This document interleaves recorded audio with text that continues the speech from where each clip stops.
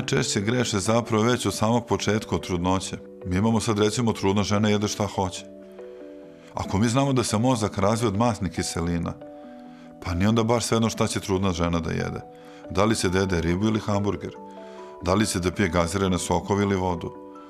Da li će da puši, da pije, da jede neke slatkiše ili će da jede kupus, jabuke, šargarepu. I kada to postane na predavnjima, svi shvate, pa da, mora da jede ribu, da pije vodu, da jede povrće. Ja pitam, pa zašto onda trudna, trudna žena uzima šta hoće?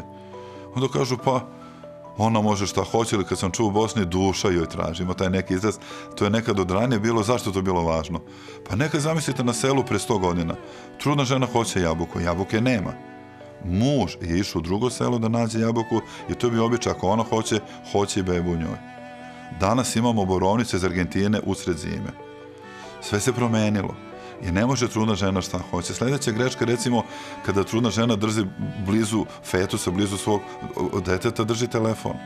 Ne znam se koliko telefon može da, da utiče na razvoj mozga, ali sigurno nije baš bezbedno držati telefon iznad fetusa. A radio sam istraživanja naše žene, znači baš sam trudna žena radio anketu, dnevno koriste telefon. 3 do 4 sata neke i preko 5 sati. Znači, dobar je telefon, dobre su nove tehnologije, a nemojte baš u periodu razvoja tu da se drže. Onda dalje roditelje greše, rodilo se dete. Ne daju detetu da trče, ne daju detetu da skače, da se ne povredi. Onda dalje ne damo detetu da, da, da jede tvrdu hranu, kao neće.